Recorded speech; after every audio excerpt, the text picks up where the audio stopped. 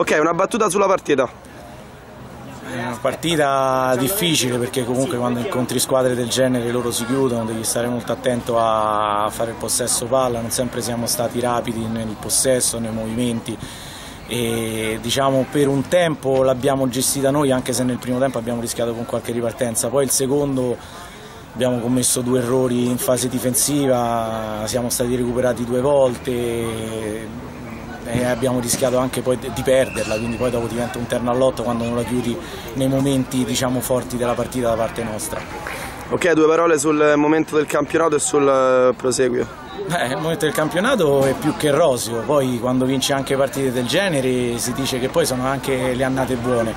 E sicuramente buono perché in sei partite questa squadra ha fatto eh, 16 punti e, e, stiamo là, adesso ce la giochiamo, ormai eh, il problema salvezza è risolto e proviamo, proveremo a dire la nostra fino alla fine senza nessun tipo di problema e, e puntando a quello che potrebbe essere un sogno.